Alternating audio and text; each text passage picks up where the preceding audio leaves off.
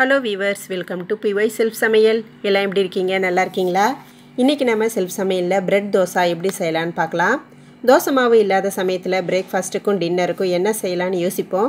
அந்த சமயத்தில் வீட்டில் பிரெட் இருந்ததுன்னா இது போல் தோசை செஞ்சு பாருங்கள் இதனுடைய டேஸ்ட்டும் ரொம்ப அருமையாக இருக்கும். இப்போது ஸ்டார்ட் பண்ண ஆரம்பிச்சிடலாம்.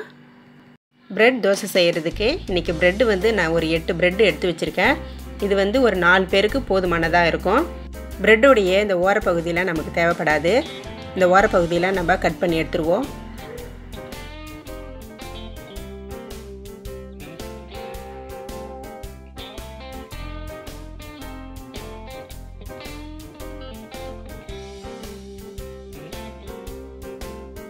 இப்போது ப்ரெட்டை ஒரு பவுலில் இது போல் பிச்சு போட்டுக்கலாம்.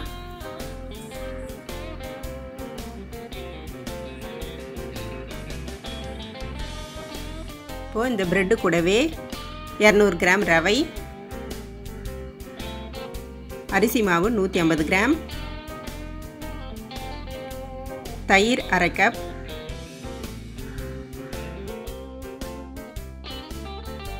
இது கூடவே சர்க்கரை ஒரு டேபிள் ஸ்பூன்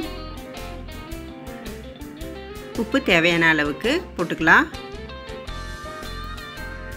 போட்டுட்டு இதை நல்லா மிக்ஸ் பண்ணி விட்டுக்கலாம். மிக்ஸ் பண்ணும்போது கொஞ்சோண்டு தண்ணி விட்டு நம்ம மிக்ஸ் பண்ணிக்கலாம்.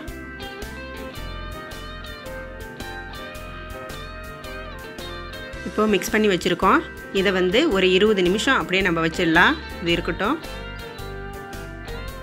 இப்போ இருபது நிமிஷம் போல் ஆகியாச்சு. இதை வந்து நம்ம ஒரு மிக்சி ஜாரில் போட்டு இதை அரைக்க போகிறோம் இப்போ ஜாரில் இது எல்லாத்தையும் சேர்த்துக்கலாம்.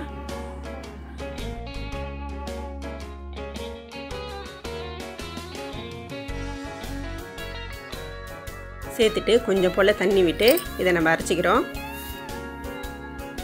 இப்போ அரைச்ச ப்ரெட்டு மாவை நம்ம பவுலில் மாற்றிக்கிறோம்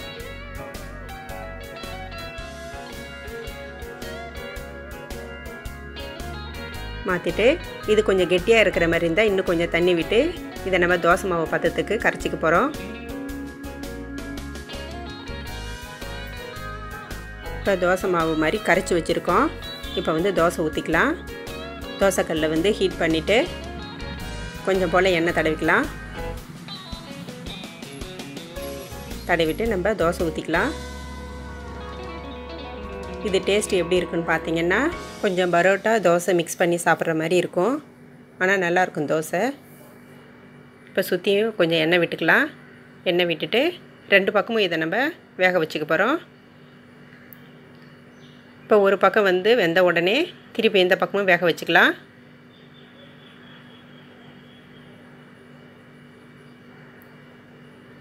இந்த பக்கமும் வெந்த உடனே நம்ம எடுத்துட வேண்டியது தான் அவ்வளோதான் ப்ரெட் தோசை ரெடி இப்போ இது பிளேட்டில் ட்ரான்ஸ்ஃபர் பண்ணிக்கலாம். அவ்வளோதான் சூப்பரான ப்ரெட் தோசை ரெடி இது கூட நம்ம கார சட்னி வச்சு சாப்பிட்டோன்னா அவ்வளோ சூப்பராக இருக்கும். இன்ஸ்டன்ட் ப்ரெட் தோசை சாப்பிட்றதுக்கும் அவ்வளோ டேஸ்ட்டாக இருக்கும்.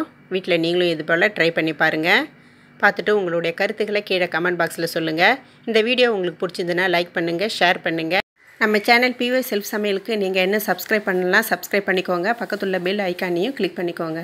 தேங்க்யூ ஃபார் வாட்சிங்